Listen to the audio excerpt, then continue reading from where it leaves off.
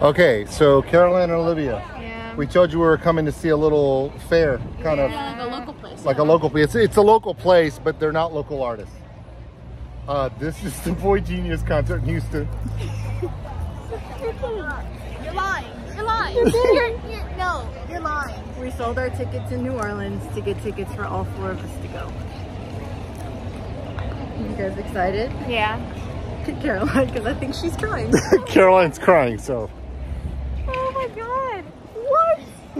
did it. Oh freaking kidding. I'm gonna cry, but I don't. I, I'm, not, I'm, I'm not crying. I'm not crying, you're crying, shut up. Are you so scared of the line? I'm not, I'm not, I'm not crying, you're crying, shut up. Let's go get in the line. You ready? Hold on.